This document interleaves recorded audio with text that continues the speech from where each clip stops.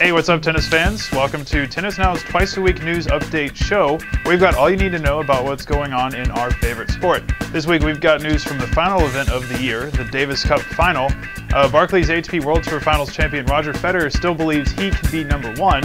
America's Alex Bogomolov Jr. has been cleared to play Davis Cup for Russia, and so much more. So make sure to stay tuned. Spain has taken a 2-0 lead against Argentina in the Davis Cup final in Seville. Rafael Nadal got Spain off to a great start when he, when he dominated Juan Monaco 6-1, 6-1, 6-2. It was a stunning display from the man who said he lacked passion after he was dropped out of the World Tour Finals in the group stage.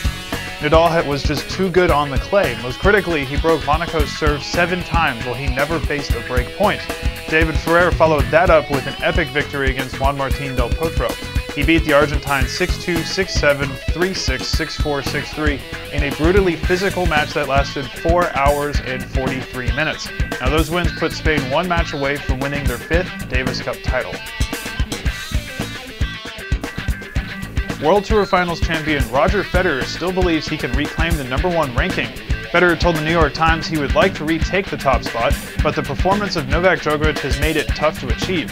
Federer is just one week short of tying Pete Sampras' record of 286 weeks as the number one player.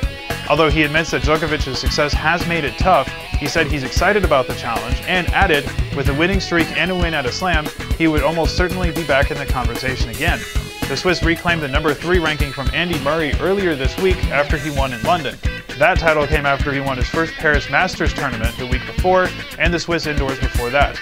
As it stands now, Federer is more than 5,000 ranking points behind Djokovic, but the Serb has an astounding number of points to defend next year.